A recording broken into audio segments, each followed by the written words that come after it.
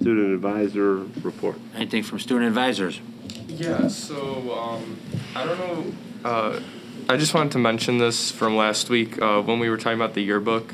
Um, that I think the decision uh, should be left up to uh, the yearbook and Rouser, which I think is I think what we've mostly decided on for Justin's. Um, in regards to the survey, I spoke to Mr. Mannon today, and like they said, it's been like forty-seven percent. Um, I also saw that there were like we had time to do it second period, so everyone had the chance to do it. So if they didn't do it, I mean, every teacher in second period gave us the chance to, from what I know. And there's also been maybe a couple misconceptions with the wording because some people told me they thought they didn't have to do it if they were in person or remote, and I didn't understand where that was coming from, but there could be a misconception there. Um, uh, but yeah, I think everything in school has been going well. Um, s- like Dr. Freytas said, it could be just the weather that there's a little bit less students here, but from being in school uh, versus home, I'm much more productive, obviously.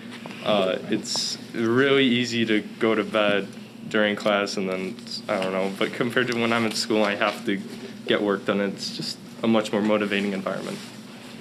Yeah, uh, I didn't know the survey was sent out during second period. I'm pretty sure my second period class did not do that. So if you guys are trying to get the survey out to more students, I would just, you know, really try to enforce that teachers, you know, inform their students about the survey and where they can fill it out.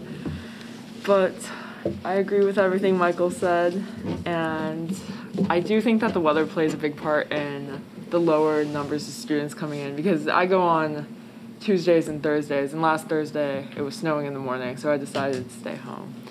But you know, it's getting pretty nice out. You know, it was really hot today and yesterday compared to last 38, week. it was really hot.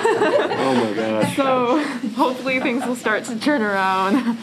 And yeah, Yeah, I feel like the calendar's on our side, right? Like it's, hopefully. Yeah. spring's coming.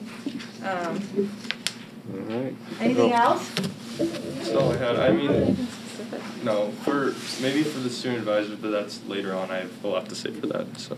Okay, when we get to that, Michael, maybe talk with Dr. Freytas in your meeting before the board meeting, so you guys have a couple points you want to share for that. Okay. And Okay. then, yeah, just think about the mission statement for next time, right? Mm-hmm. Some wordsmithing, pull out that thesaurus or something, right?